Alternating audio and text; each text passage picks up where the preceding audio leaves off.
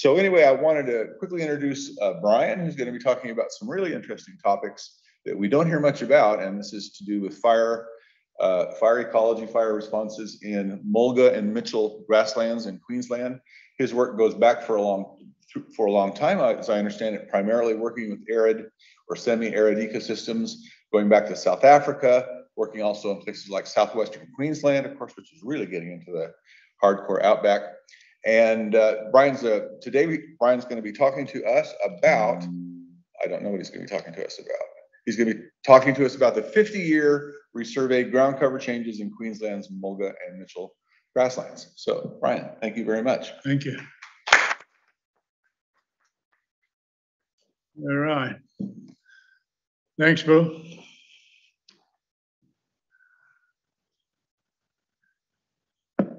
Yeah, I, I want to start by, by thanking the 30 or so helpers that actually got our logistics organized to get this done. We've got a picture here of the first of our team. This was organized through an ex-student of mine, that's Jenny up at the top there, sitting in the tree. Um, Jenny was an ex-student of mine at USQ in Toowoomba, and uh, she wrote the uh, the text for identification of plants in, in this area. The other characters you see there were all fresh out of uni when they came uh, to, to, to help me back back then. And uh, now with their beards and their 70 something pedigrees, they all put their hands up. I didn't ask them to help. I told them that I was doing this. And they said, well, we'd like to be in that. And in the end, I didn't do much at all. I ended up in an advisory capacity while these guys did the work. Why this is important to me personally is this is because it is my very first field project in Australia and now rounded off half a century later as my last field work. And if you see how I walk, you'll, you'll understand why it's my last. I want to thank Yoko for a grand series that, that we've had and not finished yet. We've even having retreats, as you've seen. Yoko, you have done a, a, marvelous job at bringing up what I think would be the most interesting series of seminars that I've had in my career. Most amazing speakers that have told me things in, in worlds that I knew nothing about. And while I'm at it, I want to thank Erica Blythe, who uh, converted my scrawl, 700 pages of it, uh, into more or less uh, good language. And uh, she has been in charge of all my computer work uh, for the last 10 years? Yeah. I'm sorry Daniel can't be here because it was his idea. This wasn't my idea to come along here, but I asked so many questions in Yoko's seminars that uh, Daniel came to me and he said, Well, why don't you give a talk on it? So I did. And last, I, I want to thank Yoko uh, for organizing for us to get the PowerPoint done specifically by Golo, my ex-neighbor here, who uh, has done what I think is a pretty good job. So I must point out that in this, this study, we didn't set out in 72 to measure climate. We set out to, to measure grazing, specifically we were looking at what changes there were. And I must emphasize that we came to climate really by a, a process of elimination where we're looking at if the vegetation has changed, what could have changed it? And we had 36 sites that were preserved, not totally netted off, because once you, you keep both grazing and fire out of arid vegetation, it will almost certainly go moribund. It will die. Use it or lose it, as they say in the footy. So if it, if it wasn't overgrazing, was it fire changes? Was it grass eating termites? Was it locusts? And if it wasn't any of those things, which it wasn't, then it's probably climate. So what we've tried to do is to go from what was originally very much a ground cover study. We weren't interested in the increase or decrease of, of the, the crown layer. We were interested in, in the grazing itself, both the grasses and the herbs. So I want to try and do two things. I don't waffle myself out of time.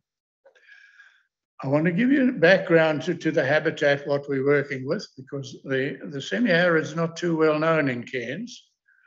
We're about rainforests, aren't we? And the VC told us to concentrate on tropical, tropical, tropical. And uh,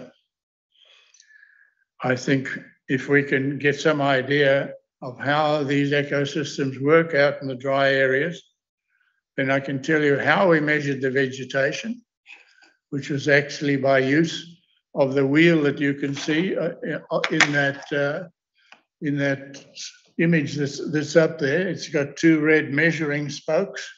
The original came down every meter, uh, meter point two, and it was the basal cover that we're interested in. We're measuring the percentage of the actual surface of the soil as covered by tufts at ground level, not canopy, not eaten off, but specifically at ground level. So we were collecting the information on ground cover, on the number of species, usually between 20 and 40 uh, different species. So we were, were covering in our 36 sites something like um, 55 grasses or 65 grasses and 95 herbs. Okay, let's look at the next one. This is the 1972 study where we made, we went to great trouble to try and find areas that had been not overgrazed, but had been subject to the normal ecological forces at, at work, which was drought and grazing by marsupials. So we've tried in this, in this report to find places that were under the natural regime as, as far as possible. Let's look at the next one, which is Jenny's map. This is Jenny Milson.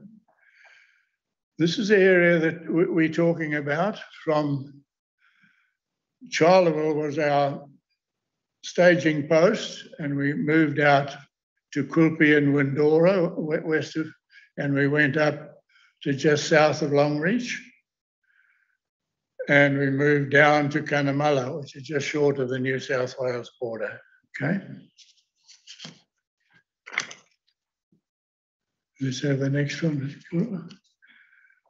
The forces that determine the, the shape of this landscape, the geomorphology as it's called, are basically water, and wind. This was originally a marine ecosystem.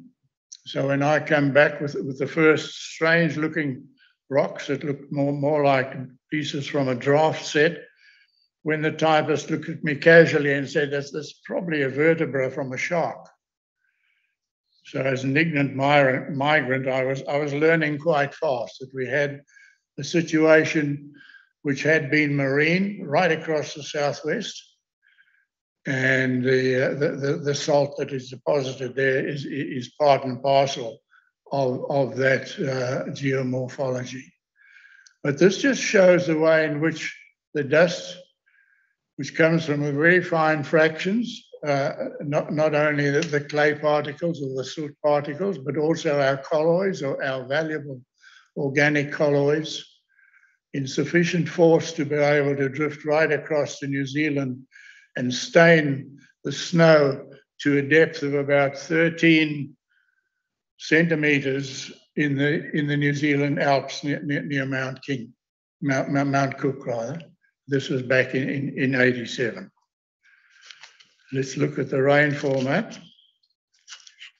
Basically, we, we're dealing with the isohyets more or less concentrically, going in rainfall down to only about 100 millimeters uh, just near uh, Lake Eyre, but we have what is the boundary of what is normally considered the, uh, the, the eastern boundary of the, um, the arid zone at uh, 500 millimeters. Next. Now, this is the distribution of the two types of ecosystem we're talking about. The first one on the left is the, the which is the Mitchell grasses, four Mitchell grasses, um, just about always on clays, going right across the Barkly tableland and into the territory and uh, uh, part of WA. The other map on the right is the one of the Acacia aneura being our, our mulga. And it's much less fussy about soil texture. It comes in, on all, all types of soil. The area that we're talking about going down over the New South Wales border into New South Wales gives us a very important research tie-up with the New South Wales surveyors. Next. Now, this is a, a very important alignment uh, around the 12 monthly averages going from 1890 through to 2020. It's not just the southwest, up in the right hand corner, we have the little uh, black area showing that it covers the whole of the grazing area.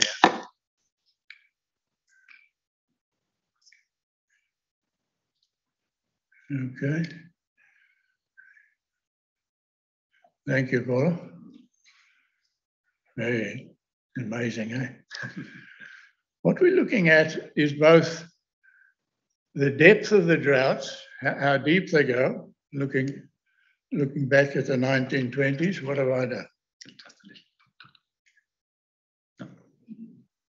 Bugger it. I can do it for you. Um, coming from the, the, the, big droughts just after the turn of the century, and the length of that area shows how many years that drought lasted. The depth of it going, going vertically shows us just how dry it was in terms of the proportion of the, the rainfall in that time. So what we can see is a lot of short droughts, not very deep after that, that first one, after 1900. But coming up to our end, and we're looking at, at early 1970, which is where our surveys were done. So we had a, a bit of a long drought before us, and then a shorter drought just at the time that we were surveying. But if we move along to the end of our time, we can see that the length of these droughts, the number of years that we're below the mean starts getting really worrying. And overall, we can say that during that whole 30, we got 13 decades from 1890, that in the first half of that time, about a third of the years were dry years. And in the second half of that, 13 decades, we find it getting close to a third of the time, or rather uh, half the time, rather than a third as it had been before. So drought not becoming the norm, but certainly becoming uh, much more, more frequent. Let's look at the next one, which shows us the continent overall. This is for Australia overall, and we've got the periods of drought at the top, and we've got the periods out of drought on, on, on the left. So what we're trying to do here is indicate that if we take the whole time from 1860, all the rainfall records, about 38% of the time there's a serious drought somewhere. And because we're right on the 500 semi-arid, arid boundary, uh, we are part of that. Now, why this is important for us is that the Australian semi-arid is 20% more variable than other homoclimates. If you look around the world and look at the area that I come in from in southern Africa with the Kalahari Desert and the Namib Desert, then you, find that the variation about the mean is much greater, in fact, a fifth greater in Australia with the same homoclimate, with the same annual mean. Next. Our area concerns the land of the Badjiri, which are down below here. Beautiful. And the Kunja, just to the, to the east of them. The Badjiri, which is the mob that, that our friend uh, Terry comes from. Um, he's not with us because he's out in the field, which is where he should be. We have these language groups affecting much greater areas than their actual tribal land.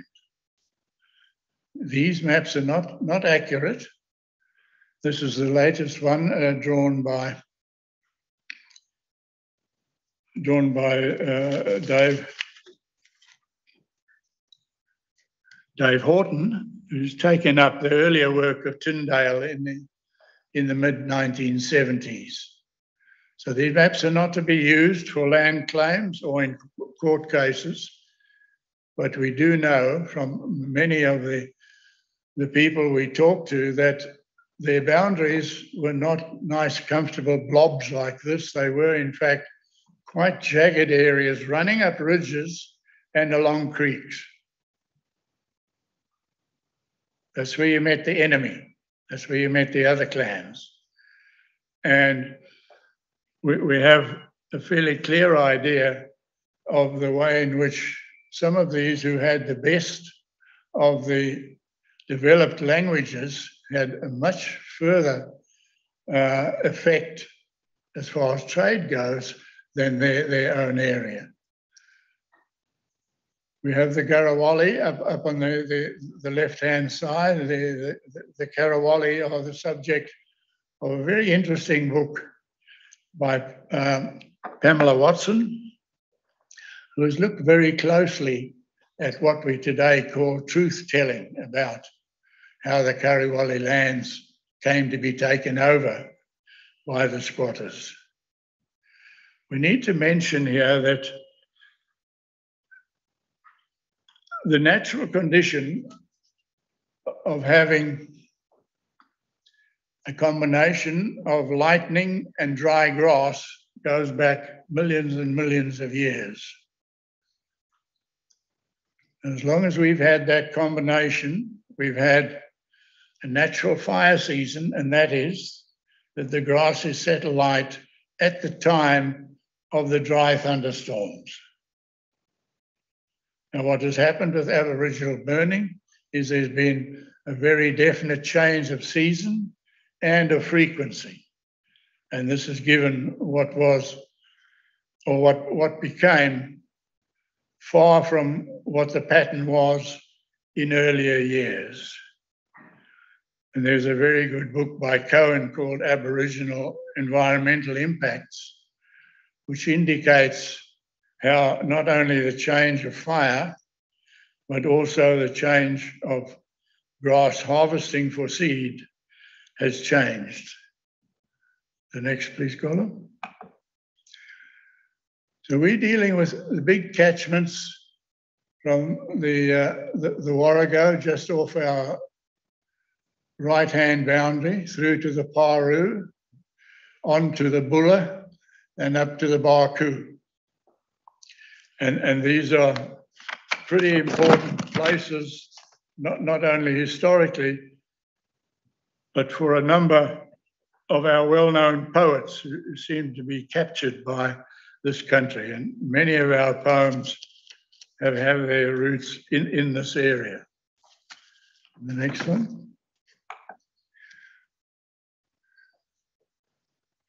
Norman Tindale has tried to give us by putting together all the diaries of the explorers some idea of where the, what he called was the Aboriginal grain belt.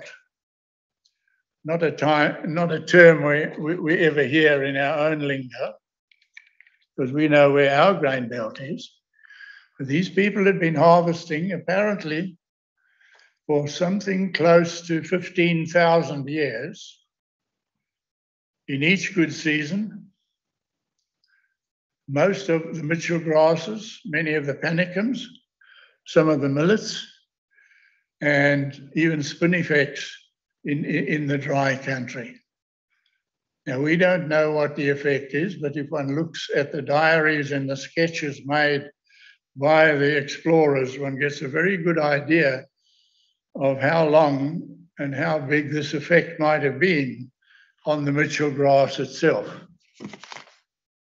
So our coming in and assuming that it was really just uh, fire, fire and, and rainfall that affected the uh, the Mitchell grasses, this is not the case. Got four male, uh, main Mitchell grasses. The curly Mitchell, which is the most important, then the bull Mitchell, which usually grows only in depressions, the barley Mitchell, which looks just like the barley ear, and the hoop Mitchell, growing on, on very slight differences in the landscape, what one might call micro, micro topography. Let's look at the settlement bank, Goloff. So the important feature here is that if, if we look at the vertical and horizontal striped areas, you can pick them. At the vertical lines were the, the last, and they were only settled by the squatters in about 1900, and the, the horizontal lines show the, the 1880 settlement. So it's a blink of an eyelid in the grand scheme of things of the ecosystems that, that we are talking about. Next. Now, of great importance for us is this East Australian basin. The hatched area is what today is known as the Great Artesian Basin. If you went to school in Australia, you probably know all about it. If you come from elsewhere, you need to know that in this particular basin that caused the changes in the grazing intensity. We've got an ecosystem which is semi-arid, which is very variable, and which protects itself by drought. The CSIRO some years ago estimated that about 80% of the kangaroos would have died in the big droughts. They don't form big migrations over long distances like the zebra and the wildebeest in the, in the Central Africa. Rather, they, they move only short distances and they will die on, on the last of the water holes. When we found the the artesian water, which is much deeper than what we call sub-bores, which is between three and 400 feet usually, which we drilled with the old jumper drills that I grew up with. We now had the American Oil Company come through in the 1880s looking for oil. They didn't find any oil. They found lots of hot water. And the locals decided we could use that soon found out that it was it really had too many minerals in it for, for good irrigation. So they decided on the pattern of what were called bore drains. You're taking the water from the bore, running at a, a level of about one in 300 fall, taking this water into dry Mitchell grass plains that had never had permanent water before, in fact, didn't have any water, uh, far, far from the creeks. And this is what made the big change in terms of grazing capacity and the number of animals that, uh, that, that, that, could be run there. So the coming of the artesian basin caused the biggest ecological upset that, that we've seen in that area. And in my book, it was a disaster. Next. We jump right ahead now to the 1964 scheme of declaring our shires um, drought affected, drought declared, as we call it. And there are two factors that cause people to run out of feed. One is the lack of rain, and the other is too many animals. And you can take it from me that there are many properties out there that are always in drought.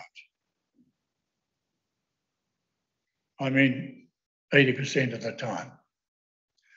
So what we've got here in, in the, uh, the, the pink areas, which is the area we're working in, are properties that, that have been drought declared more than 50% of the time, and, and some up, up to 60%. These drought declarations not dependent on any science at all. They're dependent on politics and who's who and who should get funding for subsidizing either moving their stock or, or bringing in feed. And we have an important job to do now to change that and look at what, what we can do better than this system that's been running since 64. Next. So the situation we've got is the processes that start with the original vegetation at the stop, at the top and through overutilization, we get first a lack of vigor, and then we get a, a, a change in, in the cover, the cover decreases. And finally, we get the botanical composition changing. That's what we were looking at in, in our study with uh, 18,000 observations, we thought we had a fairly good base. In some ecosystems, you'll find that the decrease in cover and the botanical composition change are very closely related. And in some ecosystems, if, if you tell the botanists what the composition is, they will tell you quite accurately what the cover is, and vice versa. They tell you we've got a 1% cover there. They will know that it doesn't have many, many of our best grasses. Next, please, go. A little bit of a diversion because our, our report covers a number of studies in South Africa on Australian grasses. And we have at the bottom of the, the, the dark South African map there where Cape Town and, and Adelaide come together. We have some very similar vegetation, and we were interested in similar grasses. But they are so similar to look at that when the Australians made Breaker Morant, they decided that the place to make this film was near Peterborough in, uh, in, in South Australia. And uh, it looks like we've got ourselves a situation where we can use the South African research in going into what have become very important uh, research lines for the Australians. Our, our kangaroo grass, which goes by another name there, and our silky top, turpentine grass, our love grasses, our wire grasses, they're all pre-Gondwana. They are the ancient grasses that grew before continental drift. So we have a lot of old grasses and we have quite a few new grasses. So South Africa has a mass of what are called bushman grasses, where the Mitchell grasses take over in Australia and not one to be seen in South Africa. But modern grasses, and we've got Gondwana grasses, we've got We've got genera like the, the Eragrostis, which has 55 different species in Queensland, and Aristida, the wiregrass, there's about 22 species, all the way through to some genera that have only one. And those interested in speciation need to know why poor old tragus was left behind. The genus tragus is still one only, while the others have been speciating uh, massively in the last time, sometimes with the help of the taxonomists. Next, please. I'm showing you here what the situation was in South Africa, where we did a detailed study on the rotational grazing that had been used for the longest in South Africa from 1930 to 72. And we're looking at how those pasture changes and how the slight decrease, you can see my rather vague pencil line of the trend, uh, pretty well the same slope as, as the Australian uh, decrease. And if you look at the names of all the, the, the, the, the different properties around the one that we used and Hanover town itself, you see they've all got the name Fontein, the Afrikaans for fountain, and there was no way you could set up shop in that area unless you had at least one fountain. Next. Now, these are our sites. We tried to look for sites that had not been overgrazed for a long time, and we thought we'd find them in two places. We thought we'd find them far from water, and we thought we'd find them uh, in areas that, for some special reasons, the owner had not been using those paddocks heavily for, for a long time. We've got 36 sites from down on the border, uh, right up to south of Longreach. And we've been going back to those sites, photographing them, measuring them, and trying to get an, an exact record of the way in which things have changed. Now, with our GPS, which we didn't have before, we're able to use the GPS, the handheld GPS, giving us something like five decimal places, which is just a few meters, the marvelous uh, technique for our getting exactly the same spot instead of trying to describe it as half a mile from half a mile from Cheapy Siding to the west, the third telephone pole after the gate to the west. And we've done this and used three iterations. We've taken all those that, that we could find. We've then taken all those that we could find exactly, which is the second iteration. And then we've taken our third iteration is those sites which we could pinpoint exactly and which hadn't been disturbed. We had expected that over half a century there would be uh, uh, uh, almost certainly uh, an elimination of some of our sites by disturbance, by change of um, change of fences, change of management, even a golf club clubhouse being built slap in the middle of one of them. So we're dealing with, let's look at the next one. Hold on. We're dealing originally with four main sites. We looked at the laterites up, up at the top, which were the hard, very acid soils carrying mulga. Most of the sites were on that. We looked at sandy red soils down below.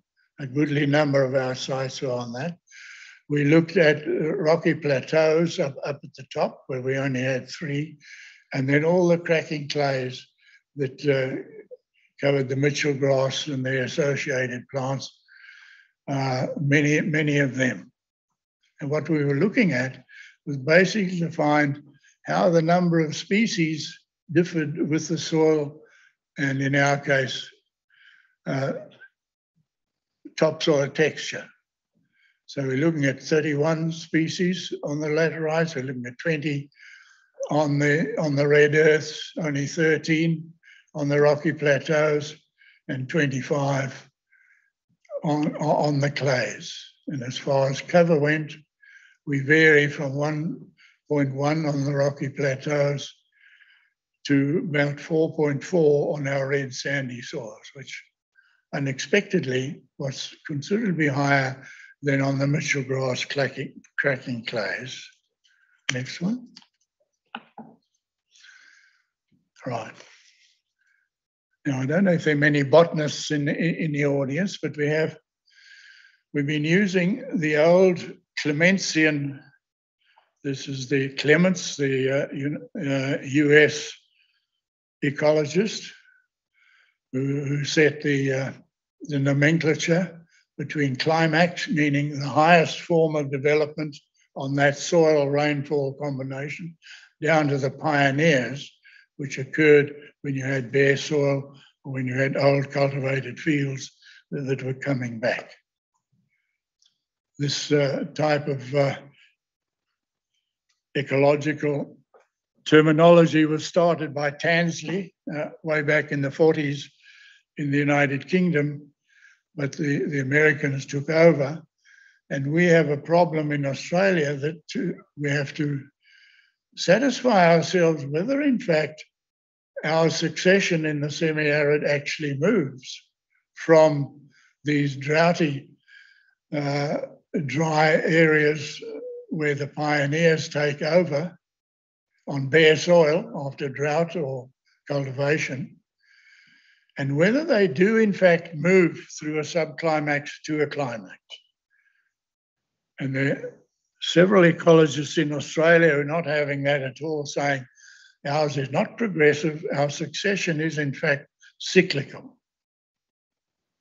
It's a stop start that, in fact, never gets through in this kind of progressive order, the sequence that uh, succession was supposed to do. Next, please. Now, this is the way we're recorded. The, the, our recording sites from, from 72, we'd have the site number and then we would work out, we would uh, have each of these species on uh, the punch cards. Anyone here old enough to remember the punch card system? Wonderful. Where we could go to the first decimal place at least in sorting which were the most dominant, dominant in this case meaning the most frequent. From at the top where we have the, uh, the Mitchell grass followed by the, uh, the Flinders grass and then the button grass and then on to the big weeds. And we converted these in our, in our latest survey to those on this 50 year original that were above 15% and above 7%. And those above 7% we called very frequent. Uh, uh, and those above 7% we called common. And those below that we called present. Next one. Now, in passing, we have to recognize from the land units that we're talking about that we have some cracking clays that, that are either very deeply uh, fractured in, in the drought, what we call self mulching, or they are hard setting. And you can see in each of them that we have self mulching and hard setting within the same Mogollons unit. This happens to be the Brigalow, Acacia harpophylla. Or we go down to the jump ups, the uh, residual uh, sandstone hills of, of the area. Also, some of them hard setting, strongly acid, and then down to the Gidgee which is the most long-lived of our trees, down to self-mulching, some hard setting. What I'm getting at is that within these management units, we have some very important local differences in whether we're getting to that, that single soil criterion that determines the, the runoff from the area. Next one. So this is how, how we did our survey. Um, the, the top one, site nine in 72. And that would have been with my Leica camera half a century ago at exactly the same spot as the one that we've come to, as I say, to the, to the fifth decimal place. Um, about as accurate as you can get, obviously a different time of day.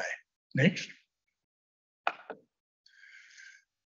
These are our most recent field sheets. The detail doesn't uh, matter too much, but if Golo can just indicate the ones that we have made very frequent, which is our 15% on the old tack, and our common next door to it, which is our 7%, and then others, which we called uh, present. We've got a, a, lot of information here that hasn't been used in, in, in this talk anyway. Next one. And when these first came in, this is the way the dominance have changed. We've grouped the species that are on our most recent survey into three. First are the new dominants, meaning they weren't dominant in 72. The next group down below are the absent, those that were dominant but aren't dominant anymore. And the third group are those that haven't changed at all. They're just as dominant now as they were then, as they were then. And I can tell you from a personal point of view, I was like, when these first started coming in from the field teams, I was sitting in my office here in Kawara Beach, receiving them. I was like, like a kid on Christmas morning, waiting for the next surprise, because I honestly didn't know what was going to come of this. And we were able then to detail these species, perhaps not too important for, for, for this particular audience, but we're looking at grouping these, photographing them, and then we will codify these to an uh, eight letter code, the first four letters of both the genus and the species, which will give each, each of these plants a unique number for the statisticians. We can only gauge from our own experience whether the, the, the, the, lists are different or not different from before.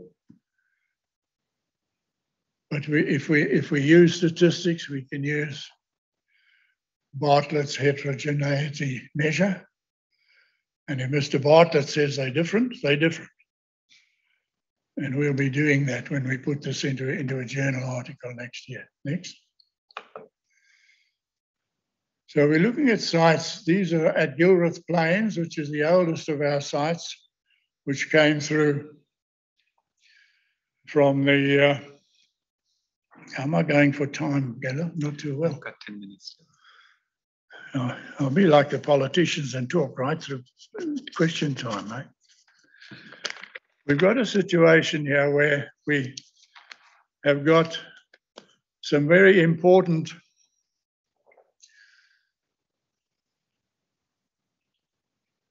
um, what shall I call them? This is what's happened when we have a reserved area, which was flogged for six years by CSIRO on their Gilruth Plain station. And then they had outside that flogged area, which, is, which was netted, and it shouldn't have been, and we've got the grazed area. And we can see the vast differences in the, the amounts of, of the different uh, dominance at that time. Um, Golo, we might just go right through to uh, the, uh, the, the next slide uh, and the next slide.